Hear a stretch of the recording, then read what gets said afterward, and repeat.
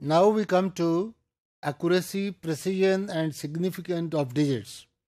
We were discussing uh, dimensions and units, but then when we are talking about units, we need to also consider that when we are measuring something, then there is we need accuracy, precision, and that kind of things in our scientific workout, in our scientific calculation, for the things, for applications to uh, to work in a way that we want them to work. And for that, accuracy, precision is so important. And therefore, when we are talking about dimension, units, and measurements, then we need to know what do we call accurate, what do we call precise. If we have to take approximation, where how much, what do we call approximate, and how good it is to justify it. So these things similarly. So in a unit, if something goes uh, length or some other measurement, if it has decimals attached to it, then how many decimals we need to talk about? How many in decimals? Where do we stop? After five decimals, three decimals, or one decimal, or what? What is called accurate for us? So on case to case basis, it differs but then we need to consider and we need to take a uniform decision about it in our calculations and in the values that we are talking. This is a very important affair. This is a very important thing for consideration in uh, scientific working and in development of machines, vehicles, anything that where precision and accuracy is involved, we need this. I give you an example, one or two examples where these things are important and where they played such an important role that a wrong uh, approximation caused lot of disaster. For example, uh, in early 90s, if I remember correctly, a French rocket Ariane was launched into space and uh, I think five billion dollars or more were spent on its development at the time. As it were, seven seconds into the space, the rocket blew up and everything was blown uh, and the, the rocket was the, it was uh, ran into pieces. And uh, i think the uh, the the astronauts that were going in it they died. So there was casualties uh, loss of life as well as there was loss of uh, all the money that was involved that was spent on that the time that was also used to develop it and so on so an inquiry was launched the inquiry uh, report is available even at net and other places and it turned out that what was the error? The error was simply a false approximation that instead of uh, 24 digits, the approximation was concluded at 18 digits or something like that. So, because six other digits were considered as insignificant and they were ignored, but that resulted in huge loss monetary as well as life. Another example in uh, Iraq war when Iraq attacked Kuwait or some other uh, Arabian countries again that was in 90s uh, one of the rockets could not be blocked and it fired into uh, it, it, it the um, the, the uh, American defense, I think they were called called as Patriot missiles. Uh, when they, it was blown, flown to stop the uh, Scud missile, it could not stop. What was the result?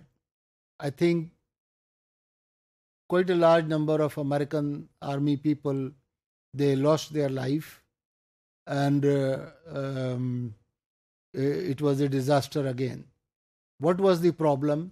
That in development of that anti-missile, uh, these the, the, again the chip that was placed in it, it is uh, its its calculation were wrong, and instead of again taking it 36 decimal points, they concluded, uh, I think, at a number uh, if I remember correctly, it was 16 or something like that.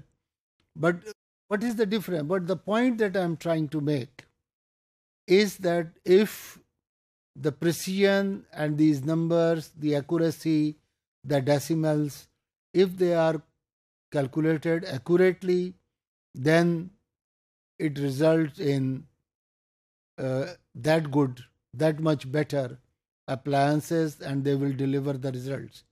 If we cannot do that, if we ignore something, then we can we are likely to run into any kind of problem. As I have given one or two examples, but there are a large number of such examples that are available. Therefore, accuracy and error to reduce error is important and to make accurate calculations is important. However, for general daily life purpose, things are not as difficult as that and we can do manage with much easier situation. The value of one reading minus the true value is called the uh, accuracy. But closeness of the average reading to the true value is important and we want to reduce that gap the real value and one reading the difference should be reduced to let's say theoretically or ideally zero to remove any error. But if uh, the, the, the difference has some value, then that is reflecting the inaccuracy or the error uh, in experimental results and theoretical values. One of the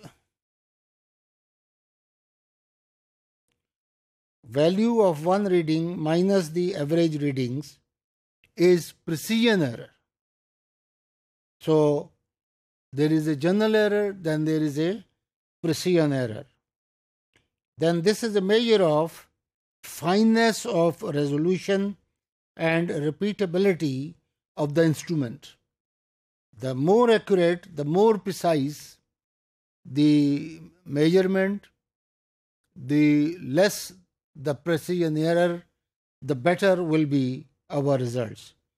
And uh, generally associated, uh, these are the things that are generally associated with random errors. Significant uh, digits, digits that are relevant and significant, and they are meaningful also. Let's say if we go to 10 or 20 digital points, decimal points, they may be of no use, they may be of no significance. So we have to decide or we have to have a cutoff point where we need to stop after decimals. And all this that we are talking about is in scientific terms, not in, in generality. Uh, and where precision and accuracy is important. When performing calculations, the final result is only as precise as the least precise parameter in the problem. When the number of significant digits is uh, unknown, the accepted standard is 3. If we don't know how many significant digits or how many digits we need to consider after the decimal point, then normally uh, we take three digits into consideration. The dimensional homogeneity is a valuable tool in checking for the errors. We need to make sure that every term in an equation have the same units. We are talking about example of the accuracy and of course the difference between accuracy and precision. A shooter, for example, is more precise in picture A but less accurate. You can see the marks up there. In picture A, he is precise in the sense that he is within the two circles, so therefore he is shooting okay. But when we call to precision, how precise he is, I don't think he is very, very precise. Away from the body, you can see there are a number of marks there.